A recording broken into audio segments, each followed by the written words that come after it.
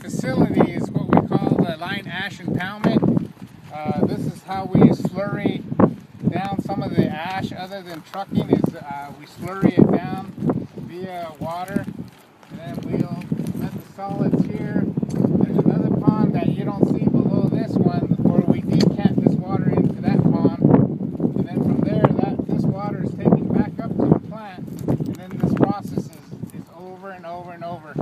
So that water that you see out there is reused and this is uh, the facility what we call line ash impoundment and this is how we slurry uh, some of the ash down here. And then this other facility that you see on the left hand, our left over here is uh, the ash disposal area. And this is how we uh, truck haul out the ash to this site out here. And uh, as you would see down here, there's like a black layer.